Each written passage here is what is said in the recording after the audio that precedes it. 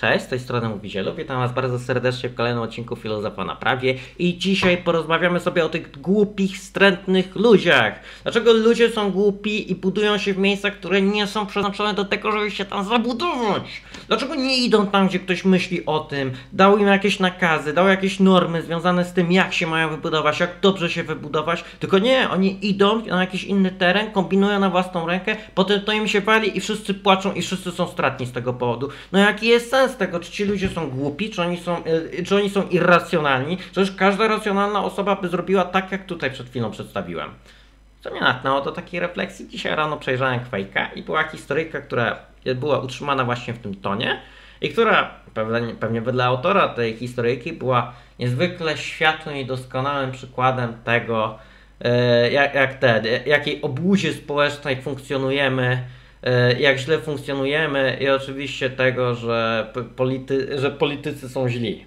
Ze względu na to, jaki jest koniec tej historyjki. Ale to po prostu przytoczę wam tą historyjkę. Oczywiście, jeżeli widzicie to jakieś nawiązanie do sytuacji społecznych, czy współczesnych nam, to tak, tak, w zamyśle ta historyjka miała dotykać polityki yy, współczesnej partii, konkretnie ministra finansów. Ale nie zamierzam tego komentować, bo nie chcę się wypowiadać na tematy polityczne. Po drugie, aż tak dobrze się nie znam na ekonomii, dlatego będę się wypowiadał o tym z filozoficznego punktu widzenia pobudek, które funkcjonują.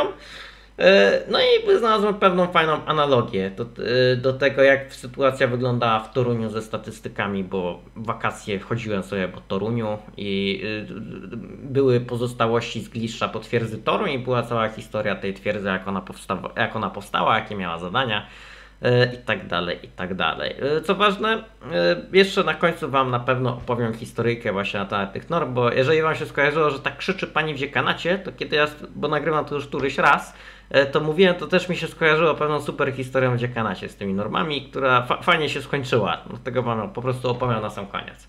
Więc jeżeli chcecie to historyjkę, to poprzewincie pod koniec, spróbujcie to wyszczelić, e, albo po prostu cierpliwie wysłuchajcie mnie całego. Ale teraz najpierw historyjka z tego mema na Quake'u. Wyobraźcie sobie, że mamy, mamy dwa bliźniacze miasta. Mamy miasta A i B, które są właściwie na tym samym y, umiejscowieniu geograficznym, są sąsiadami obok siebie, w związku z tym dzielą te same ryzyka, w tym wypadku y, sejsmograficzne, czy tam tektoniczne. Y, mówiąc bardziej prostym językiem, chodzi o to, że oba są narażone na to samo ryzyko, że wystąpi tam trzęsienie ziemi z, podobny, z podobnym skutkiem. Czyli, że jeżeli będzie trzęsienie ziemi, to będzie w tym takiej samej skali Richtera zarówno w jednym, jak i drugim miejscu. O to chodzi tożsamości tych miast. Myślałem, czy możemy znaleźć jakiś dobry przykład życia i jedyne, co mi przyszło do, do głowy, to Gdańsk, Gdynia, nie?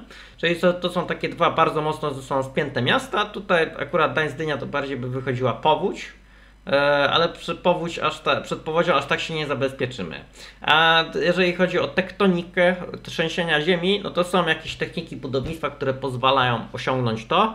E, no, że budynek się nie zawali. Patrz Japonia. E, no, no i mamy, mamy tych dwóch burmistrzów tych miast A i B. No i jeden, jeden burmistrz tego miasta ma bardzo restrykcyjną politykę dotyczącą zabudowy. Czyli mogą powstawać tylko pewne określone budynki, które mogą mieć określoną wysokość. Wszystkie budowle muszą mieć spełnione określone standardy techniczne, czyli nie wiem, mury muszą być odpowiednie, muszą mieć odpowiednie pieczątki wbite, że wszystko jest zgadza, że ATS, że nic nie jest przestarzałe. E, co powoduje to, że no, zbudowanie się tam na nowo jest dosyć mocno, mówiąc kolokwialnie, uciążliwe. Uciążliwe z tego powodu, że musimy mieć dużo pozwoleń administracyjnych, musimy mieć dużo pieczątek, e, nie możemy zbudować czegokolwiek chcemy, wszystko musi być zatwierdzone przez urzędnika, przez jakichś inżynierów, którzy zatwierdzą, że ta konstrukcja przetrwa ewentualne trzęsienie ziemi. E, no i tyle. No i zauważył to burmistrz miasta B, że tam jest bardzo duże właśnie obostrzenia związane z tym, że jest ciężko się rozbudować. I on w swojej polityce miasta B zrobił tak zwane hulaj dusza piekła nie ma i tam właściwie można było wybudować wszystko. Generalnie tam nie było żadnych problemów z dostaniem pozwolenia na budowę i tak okazało się, że zrobił się ruch w mieście B z tego powodu, że te osoby, które nie były w mieście A, przeszły do miasta B. No takie były założenia, że przekieruje ruch z miasta A do miasta B dzięki temu, że będzie miał taką, a nie inną politykę, bo będzie się łatwiej zbudować, więc będzie więcej nowych osób.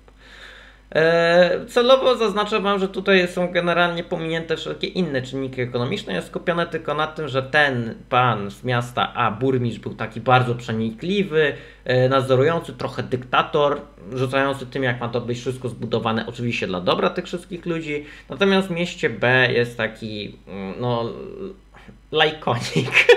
tak chciałem powiedzieć, błękitny ptak Taki po prostu, a róbcie co chcecie, jeżeli będziecie mi tylko płacić za to pozwolenie, to będziemy wydawać i wszystko będzie w porządku, wszystko będzie cacy. Nie będzie żadnych dodatkowych kryteriów. No i oczywiście nadchodzi w pewnym momencie trzęsienie ziemi. I historia ułożona przez pana autora, autora historyjki jest taka, że w mieście A generalnie, generalnie wszystko przeszło bez większych problemów.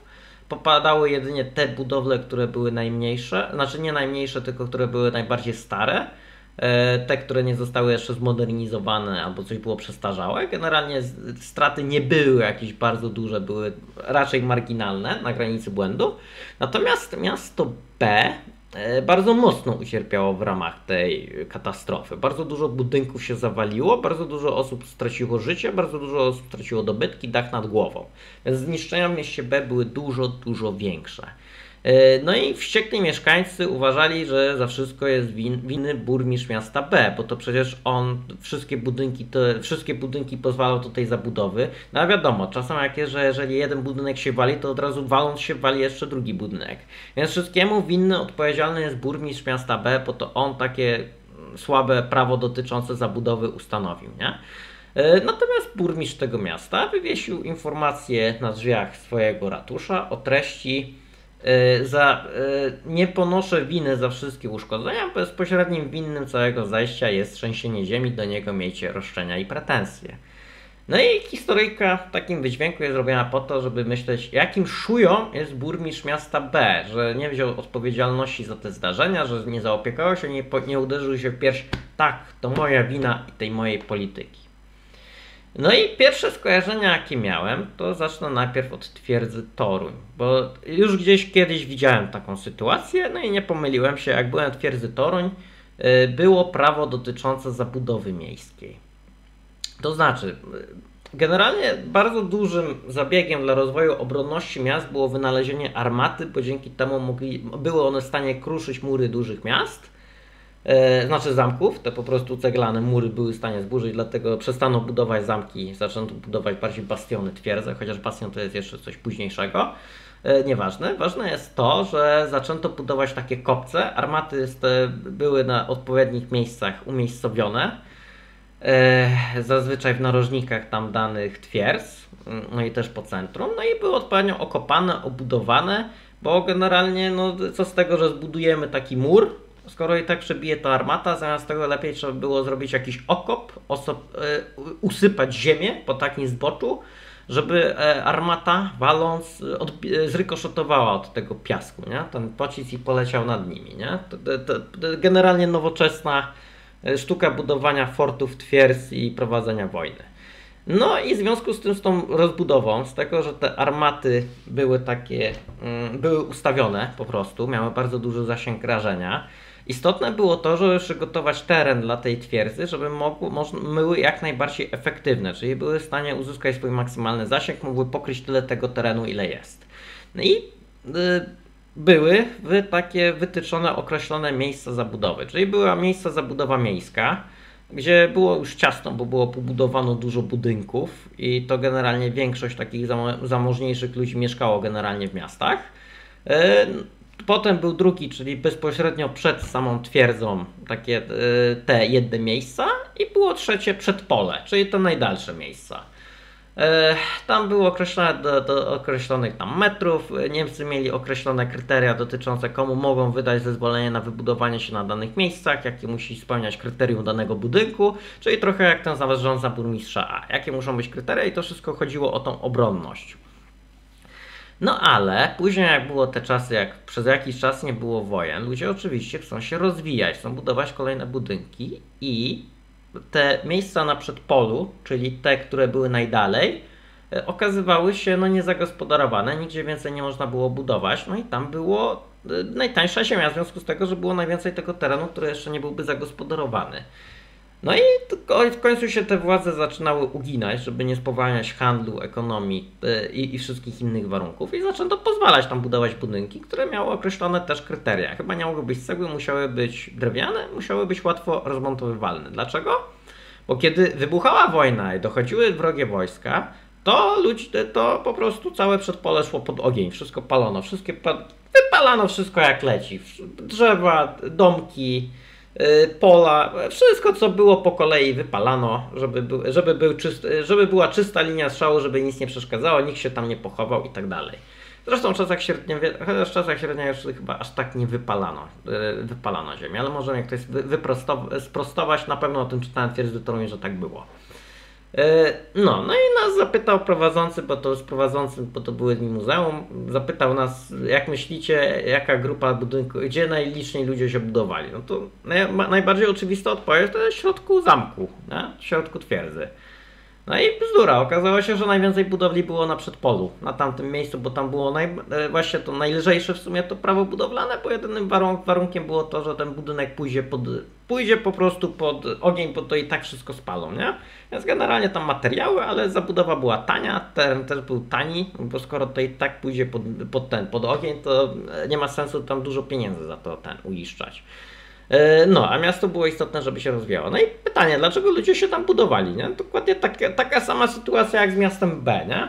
Skoro wiadomo, że to prawo jest dużo suro, e, ten, słabsze i można przewidywać to, że no, do trzęsienia ziemi kiedyś nadejdzie, jeżeli tam są płyty tektoniczne, jest duża szansa na to, że dojdzie do tego trzęsienia ziemi, no to po co się tam budować? Tak samo jak tutaj stąd twierdzą, jeżeli istnieje jakaś ewentualność wojny, to po co się budować, nie?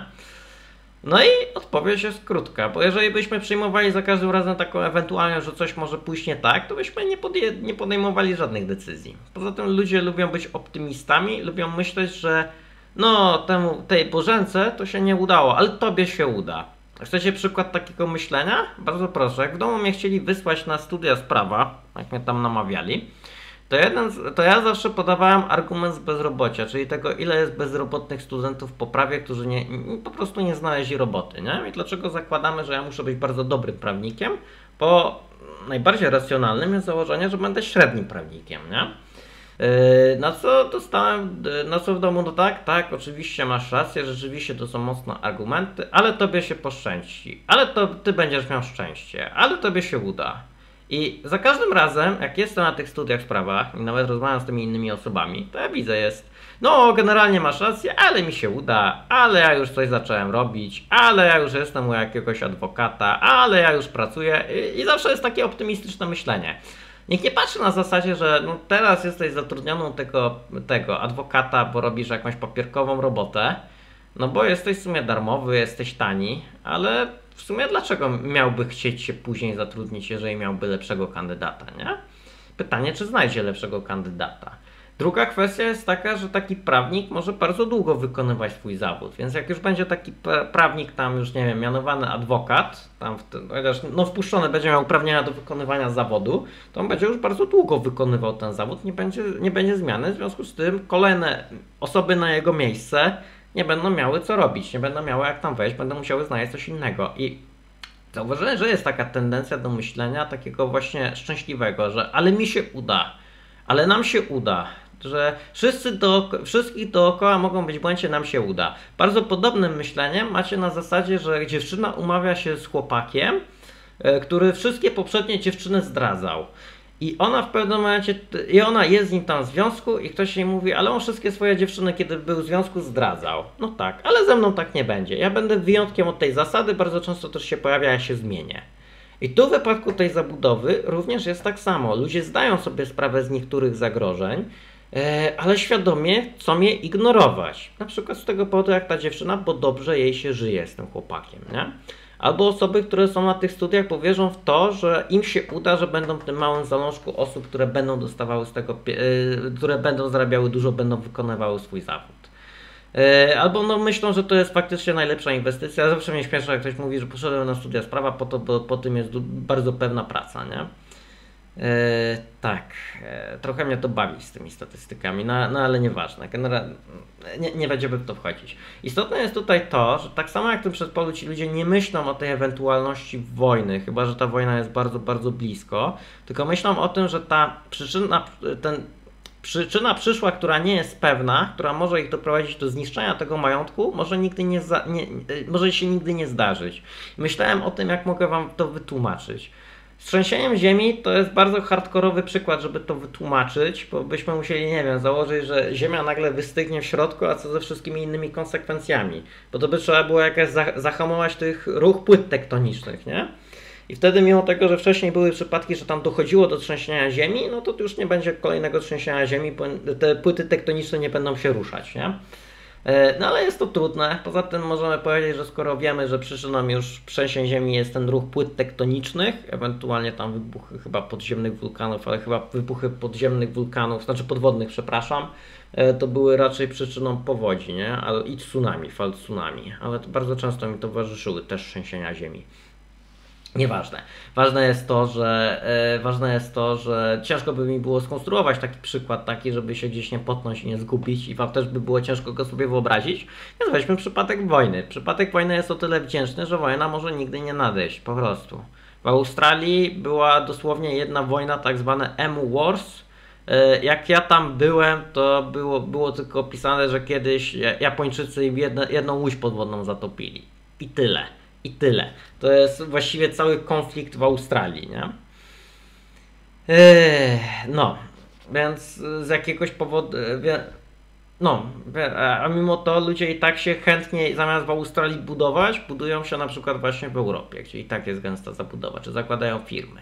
A mimo tego, że Chiny mają taką, a nie inną politykę, to i tak tam lokalizują swoje firmy, chociaż y, od jakiegoś czasu Indie są bardziej optymalne, bo jest dużo więcej ludzi, też jest duży rynek zbytu. Mimo tego, że w Chinach było, y, no nie podchodzą tak do prawa autorskiego i tam bardzo często, jeżeli zdawałeś swoją technologię, no to y, urząd, rząd miał odpowiednie prawo, że po iluś tam latach tego, jak tam jesteś na tym rynku, to oni mają prawo do tej technologii, mogą ją przejąć. Na, te, na tej zasadzie Chińczycy tak zdominowali rynek telefonów. Generalnie oprócz Samsunga i iPhone'a, no rynek należy do Chińczyków. No. Ty, tyle można powiedzieć. To jest taki, no, tak, taki najprostszy przykład. Ale mimo to firmy tam wchodziły z tego powodu, że uważały, że a, uda się. Jest. To, to zagrożenie odległe w czasie, będzie w porządku. O, inny przykład Hongkong. Hongkong był oddany Chińczykom na użytkowanie, czy tam na, inaczej. Hongkong był wolnym miastem na 100 lat, oddany tam pod protekcję Wielkiej Brytanii, Chiny się na to zgodziły. Brytyjczycy sobie wy, się wycwanili, stwierdzili, że po tych 100 latach, kiedy się to skończy, to oni sobie to e, wydłużą i dalej Hongkong będzie wolny, bo się dogadają z Chińczykami czy tam z Chińską Republiką Ludową, no ale okazało się, że Chińczycy jednak powiedzieli, że nie, nam to nie leży w interesie, Hongkong powinien należeć prawowicie do nas. No i tyle, nie?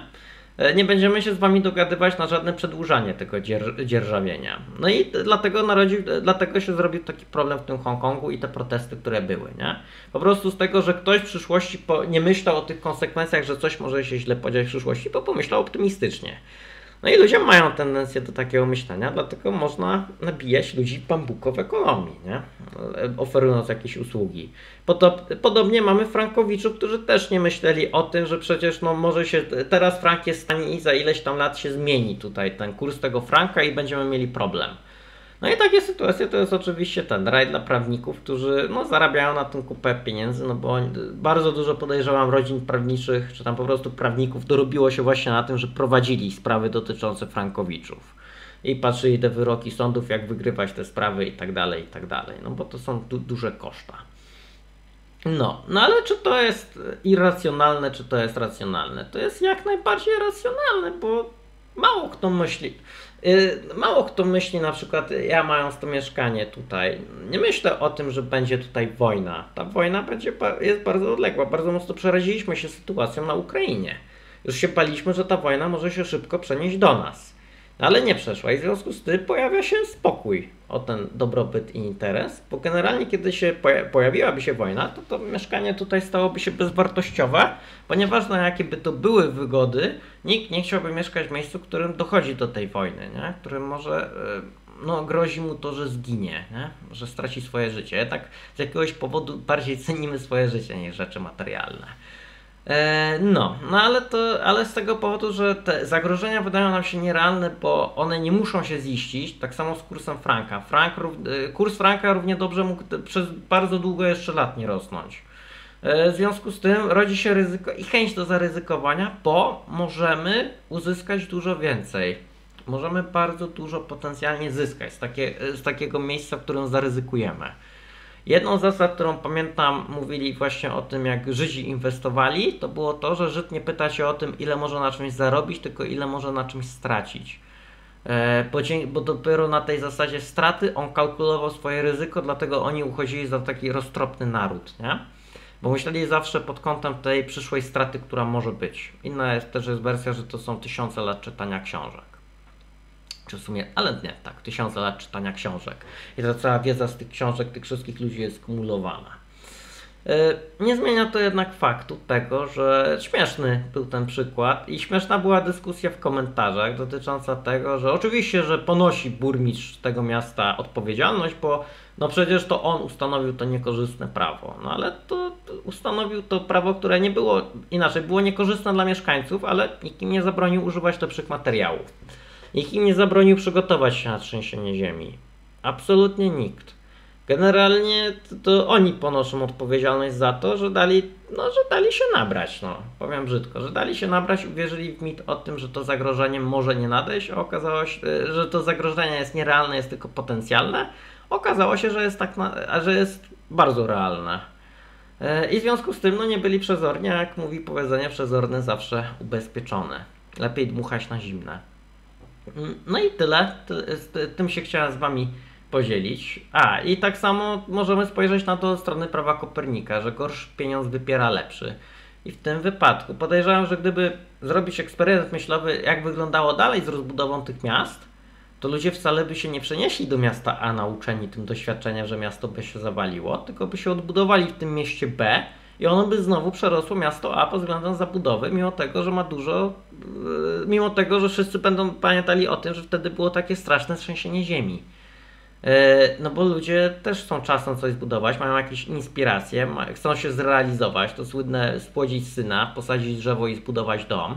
I w tym wypadku, kiedy tam w tym mieście są takie warunki, gorsze, znaczy są dużo bardziej restrykcyjne warunki do zabudowy, to większość, to dużo osób stwierdzi, nie chce mi się bawić tą biurokrację, pójdę tam, gdzie jest łatwiej. I dlatego i na tej samej zasadzie jest pieniędzmi, że gorszy pieniądz wypiera lepszy, potem lepszy pieniądz, nie chcemy nim operować, chcemy go zostawić, żeby mieć jakiś ten e, zabezpieczenie. W związku z tym dochodzi do, tau, e, do procesu tauryzacji. Ta lepsza waluta zaczyna spoczywać w naszych kontach, naszych skarbcach, portfelach E, operuje tylko ta gorsza waluta, w związku z tym tylko właściwie ten gorszy środek płatniczy jest faktycznie środkiem płatniczym. E, to jest akurat prawo sformułowane przez Kopernika, który zauważył, że jest dużo tych, że było dużo różnych walut, które miały różną zawartość chyba srebra, ale nie jestem pewien.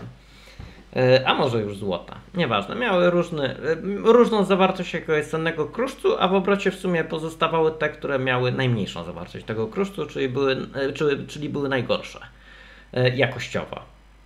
E, no i tyle. Z tym się chciałem z Wami podzielić. Więc jeżeli widzicie takie sytuacje, e, to nie szukajcie w pierwszej kolejności winnych te osoby, które wydały takie zezwolenie na to, żeby była taka zabudowa. Tylko najpierw patrzcie po sobie, czy tamte osoby mogły się tego spodziewać, bo oczywiście podejrzewam, mogłaby być z tego założona sprawa karna i by doszukiwali się, czy była klauzula abuzywna, czy nie było klauzuli abuzywnej czy burmistrz celowo wprowadził swoich mieszkańców w błąd, czy nie? Czy udzielił im wszystkie możliwe informacje? A może informacje, które były, nie były utajone, że klienci, którzy się tam budowali, mieli szansę tego dowieść, ale ja podchodzę do sprawy bardzo pragmatycznie i od strony faktycznej Czyli taki, że niezależnie czy będzie stwierdzana nasza korzyść, czy nasza niekorzyść, to tracimy, y, tracimy nieporównywalnie więc, wie, wiele w stosunku tego, co możemy zyskać. Pozyskać możemy zwrot kosztów tutaj naprawy tego, ewentualnie jakieś środki odszkodowawcze na, na budowę następnego domu. E, no i ewentualnie jakąś zapomogę tutaj zdrowotną, jeżeli coś się nam stało. E, ale, mm, ale to wciąż po pierwsze jest potencjalne, po drugie te środki, które będą nam wypłacone nie zrekompensują nam jeden do jednego wszystkich, wszystkich na przykład strat, które ponieśliśmy moralnych, nie wiem, może komuś ktoś bliski zmarł w czasie zawalenia się budynku, to praktycznie żadne pieniądze nie będą w stanie tego wycenić. Wycena życia ludzkiego jest bardzo ciężka, bo co weźmiemy pod uwagę, nie wiem, edukację, to jaki był wykształcony, jaki był wartościowo społecznie, to, co zrobił dla społeczeństwa, no sami przyznacie, właściwie nie ma jak tego wyliczyć, nie? E, jest to bardzo trudne, więc trzeba zastosować jakiś schemat uproszczenia. A wciąż to i tak nie zrekompensuje tych wszystkich nerwów, które osoby by miały, żeby odbudować na przykład znowu ten budynek, który się zawalił, nie? E, więc to też jest kwestia tego, z którą się chciałem z Wami podzielić, ale przede wszystkim osoby, które się tam budują, nie można im mówić, że są irracjonalne. One są racjonalne i właściwie w geście zarówno burmistrza miasta A, jak, jak i burmistrza miasta B byłoby, żeby były założone takie minima, które by pozwalały zachować bezpieczeństwo, albo żeby były pokazane yy, wnioski, znaczy może nie wnioski, ale zalecenia tego, jak budować taki dom, nie? Burmistrz miasta A stosuje po prostu zakaz, dlatego ci wszyscy uciekli do miasta B. W mieście B była pełna samowolka, ale skoro się zbudowali tak, że wszystko poszło, się zawaliło, to znaczy, że edukacja tych obywateli nie była odpowiednia. Nie była odpowiednia. E, możemy też rzeczywiście podnieść jakieś koszty materiałów, albo w ogóle się zastanowić, czy mieli dostęp do tych lepszych materiałów, nie? E, tylko znowu, to tamte jednostki powinny podjąć taką decyzję, to one powinny poszukać tych lepszych materiałów, powinny mieć po prostu dostęp do tego, jakby to mogło wyglądać, jak to powinno wyglądać, żeby przetrwać, nie? Takie trzęsienia ziemi. A oczywiście może też przejść takie trzęsienia ziemi, że zarówno zalecenia burmistrza miasta A, jak i burmistrza B wszystko zawali bo ra, raczej bo byliśmy przygotowani na tak silne trzęsienia ziemi, które do tej pory było, a przecież takie, które było no wybitnie silniejsze. Eee, no, więc nie widzę tutaj sensu obwiniania tych ludzi, że są irracjonalni, bo człowiek myśli przede wszystkim o sobie, o tym, żeby jemu było wygodniej nawet nie myśli tak o obiektywnych zasadach całego, e, całej społeczności. A w wypadku burmistrzów miasta A i miasta B no to burmistrz B myśli przede wszystkim o tym, żeby rozruszać to miasto, żeby zarabiać pieniążki od strony ekonomicznej, dlatego jest pozytywny. Natomiast od strony A myśli, wcale też nie musi myśleć koniecznie o bezpieczeństwie mieszkańców, może myśleć na tym, że będzie zarabiał na wydawaniu tych pozwoleń, nie? E, więc znowu, ja nie widzę tutaj, jest za mało danych w tym zadaniu, żeby móc oceniać moralność obu tych burmistrzów, burmistrza miasta A i burmistrza miasta B. Na pewno jestem przeciwny stanowisku, żeby mówić, że to możemy przypisywać winę burmistrzowi miasta B, bo to on stanowi takie chwało i to on jest odpowiedzialny bezpośrednio. No nie, nie, on nie jest odpowiedzialny bezpośrednio. Jak już ma odpowiedzialność pośrednią, bo stworzył jakieś warunki do tej zabudowy, stworzył jakieś zasady, ale wciąż są odpowiedzialni ludzie, bo generalnie te warunki, które są, to są zazwyczaj określane minimum. Nikt, nikt nie zakazuje człowieku, e, nikt nie zakazuje obywatelom stworzyć lepszych konstrukcji, nie? no, to jest trochę podobny problem jak z budowaniem się w terenach zalewowych i potem zdziwienie, dlaczego, dlaczego nas zalała woda. E, dlaczego zostaliśmy zalani? No bo to jest teren zalewowy, no. Skąd się wzięła woda na terenach zalewowych? No, więc tyle. Jak zwykle zawsze będę odwołał do racjonalności, a to, że ludzie nie chcą budować się w miejscach, gdzie są takie bardziej restrykcyjne i zaostrzone normy, wynika po części właśnie z tego wrodzonej chęci do ryzyka, chęci osiągnięcia większych korzyści, ale również tego, że ludzie niekoniecznie lubią się tłumaczyć komuś z tego, co chcą robić. E, mnie na przykład denerwuje, jak jestem w domu, praktycznie taki obowiązek, że jak wyjdę z do... jak tutaj wyjdę z domu, to nikt nie zapyta dokąd idę, no bo mieszkam sam. Ale jak jestem w domu, to praktycznie muszę powiedzieć, e, powiedzieć matce, że wychodzę, powiedzieć ojcu, jeżeli jest, że wychodzę. Określić mniej więcej czas, gdzie idę, co zamierzam robić, nawet jeżeli chcę się po prostu przejechać na rowerze. Dobrze, że nie muszę powiedzieć, gdzie chcę, chcę się przejechać na rowerze. Że jadę do kościoła czy do jakiegoś kolegi. No dramat, państwo opiekuńcze, nie? I to wynika po prostu z tego, że jak jestem w domu, to rzadziej z domu wychodzę, bo nie chcę mi się przechodzić tej całej procedury uzasadniania tego, bo jestem dorosłym człowiekiem, uzasadniania tego, dokąd idę, po co idę, nie? I na tej samej zasadzie też jestem zdania, że dojdzie do takiej sytuacji, że nauka I lepsze uniwersytety zrobią się z tych gorszych uniwersytetów, które nie będą przestrzegać norm i gdzie te normy będą bardzo takie palcem po wodzie pisane. E, bo osoby, które będą zmęczone tym systemem, tymi wszystkimi normami, po prostu tam przejdą. E, I podejrzewam, że to może być jedna z takich największych zmian na uniwersytetach, do której może dojść. I, i która, no uważam, może być już na wyciągnięcie ręki, patrząc nawet na to, jak jest rozwinięty internet. Rozgada, rozgadałem się, miał być to krótszy materiał, pół godziny, to jeszcze tylko na szybko opowiem Wam tą historyjkę. Historyjka wyglądała tak, że poszedłem do dziekanatu, wyrobi sobie legitymację, wysłałem wcześniej zdjęcie. Zdjęcie, które wysłałem było dokładnie tym samym zdjęciem, które miałem w, mojej, w moim dowodzie osobistym. Problem polegał na tym, że miałem stary rzutnik, mm, skaner. Miałem stary skaner, który spowodował, że tło za mną nie było białe, tylko było niebieskie, ale wynikało to z tego, że ta lampa była trochę zanieczyszczona, przybrudzona, no i to dlatego miało taki niebieski ten element.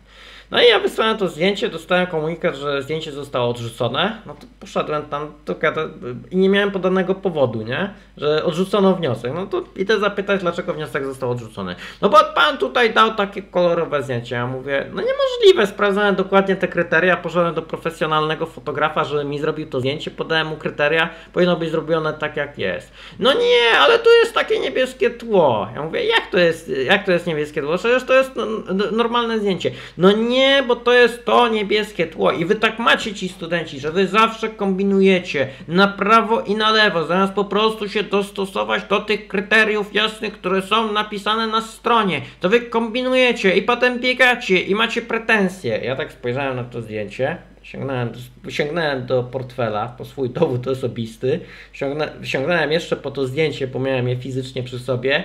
I, pokaz i pokazałem, szanowna pani, tutaj jest mój dowód osobisty, tutaj mam do, prawo jazdy, w prawie jazdy miałem też to samo zdjęcie, tutaj jest to zdjęcie fizycznie, które ono wygląda, to jest dokładnie to samo zdjęcie, które tam przysłałem, więc mam postawy ku temu, żeby się zastanawiać, dlaczego pani nie przyjęła tego wniosku, bo powinna pani go przyjąć. I pani tak spojrzała, no ale ono jest takie kolorowe. Ale dobrze, jak profesjonalny i do dowodu przeszło, dobrze, zrobię dla pana wyjątek, puszczę to panu. E, generalnie też jej było trochę głupio, bo ta pani, która była naprzeciwko, tak na nią patrzyła takim okiem. No, no i udało mi się odebrać ten mój paszport. Yy, znaczy paszport, ten moją legitymację studencką, gdzie miałem to jedno kolorowe zdjęcie, które bardzo dobrze mnie odzwierciedlało i było ten sam zdjęcie, które było na dowodzie osobistym. No, ale podejrzewam, dużo osób nie chciałoby się walczyć z tym systemem i pewnie by się dostosowali. Jak widać, jestem dosyć mocnym nonkonformistą. Jak się okazało w tym przypadku. Więc wszystkiego dobrego Wam życzę. Z tym się chciałem z Wami podzielić. Cześć, z tej strony mówił Zielak. Pa, pa.